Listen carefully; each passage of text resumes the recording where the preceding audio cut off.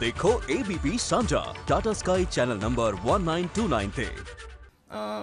जो यहाँ पर बनाई गई थी मार्केट और तब से लेकर के आज तक यहाँ पर कोई भी कमर्शियल मार्केट्स जो हैं, वो एस्टेब्लिश नहीं की गई हैं।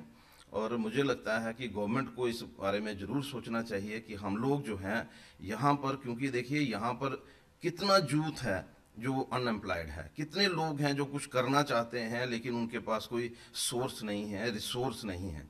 तो मुझे लगता है कि कोई गवर्नमेंट को इसके बारे में ज़रूर सोचना चाहिए कि यहाँ पर भी हम लोग कमर्शियल एक्टिविटीज़ के लिए यहाँ पर नए नए मार्केटें बनाएँ नए नए इश्यूज़ जो हैं यहाँ पर लाए जाएँ। तो मुझे लगता है कि इसके बारे में चिंता करना जो है, वे गवर्नमेंट का काम है। इसके साथ साथ नो डाउट कि आज अ, हमारी डेवलपमेंट की तरफ़ हम लोग जो हैं बढ़ रहे हैं।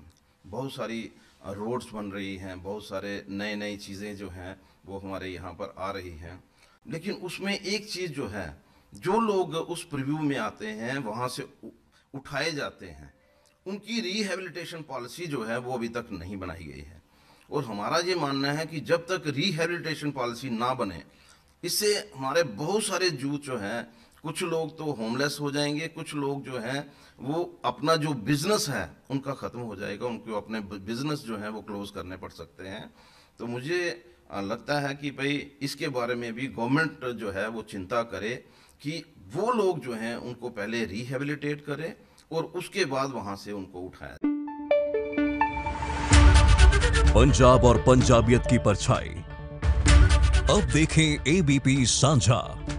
टाटा स्काई चैनल नंबर 1929 पर एबीपी साझा देखने के लिए अपने केबल ऑपरेटर से अभी संपर्क करें। एबीपी साझा जोश, जज्बा, जुनून।